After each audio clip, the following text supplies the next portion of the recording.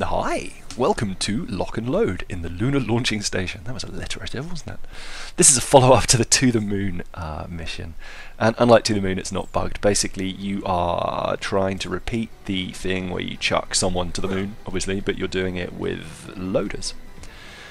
Uh, and it's quite funny because these are, if you've played Borderlands 2, you'll remember that Jack sends in loaders on the moonshot cannon in Oh, I can't remember the name of the place now. That's shocking. Um, but it's the one where you have to defend the beacon, and loaders are being fired in all the time. And I'm sure there are other times loaders are being fired in. But I kind of liked it. Uh, this one isn't bugged, unlike the uh, previous To the Moon. Um, the loaders take a tiny bit of damage at some point. Uh, I forget exactly when, but you may notice their health go down by a sliver.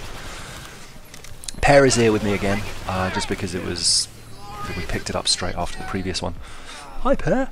Um, so yeah, that's kind of that. Um, this one's it's basically the same mission as before, except with slightly tougher enemies. You can see that there's a uh, power suit there.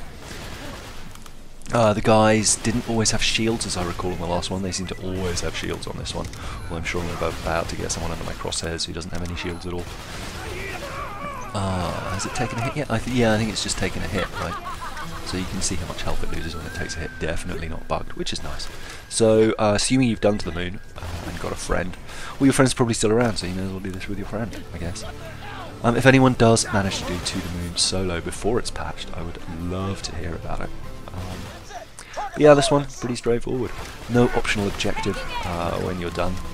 Um, and I think just again, well, I don't think I know, because I've just watched it. Uh, basically, as soon as it gets to this second door again, uh, there pretty much the guys stop coming. There might be one or two more after this. Uh, there's one up there and one up there. But I think that's it. I think that's the end of the guys. Um, so actually, really straightforward. Uh, especially because it's not bugged. uh, but playing with a friend is always better. You get better loot. Uh, you get slightly harder enemies, so level 50 becomes a bit more of a challenge.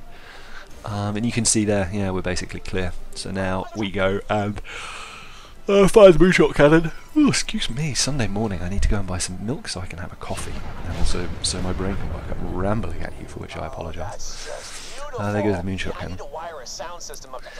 Uh, and then Bear and I just have a little chat. He's saying thank you for helping. I was like, no, thank you. Seriously, I've been wanting to do that for a while too. Anyway, the reward nothing special. Just a blue choice of a blue or uh, a blue or no a blue assault rifle or SMG for me. I don't know. It might change. I did it on normal. Uh, just recorded it through with my Wilhelm to check, and I got SMG and assault rifle again. So who knows? But on the left is To the Moon, if you haven't done that. Although if you haven't done that, why are you looking at this? So that was probably a bad choice to put there. I don't know. And on the right, Regolith Range. Uh, no, not Regolith Range, Killing Deadlift. Anyway, that's your lot for now. I'm off to buy milk and have coffee. I will see you in the next one. Bye-bye!